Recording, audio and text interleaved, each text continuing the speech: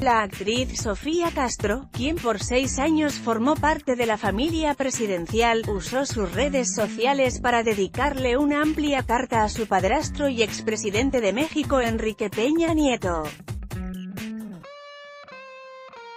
La primogénita de la ex primera dama Angélica Rivera aseguró que Peña Nieto dejó su alma por el país.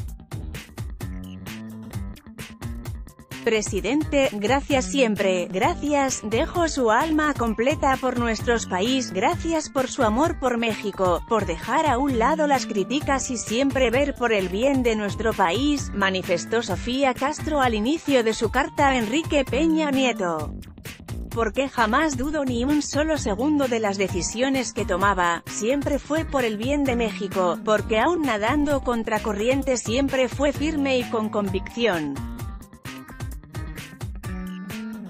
Habrá ocasiones en que seis años se vean como un segundo, en otras que representen una vida o una eternidad.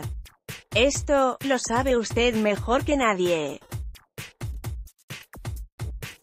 Su legado, para fortuna de todos los mexicanos, durará en el tiempo, permanecerá en la historia, e impactará en la vida de todos nosotros, resaltó Sofía Castro sobre el trabajo que Enrique Peña Nieto realizó durante su sexenio. Lo que hizo, sirvió y lo que decidió funcionó, solo el tiempo le dará la razón. Mi agradecimiento con usted es doble como ciudadana y como hija.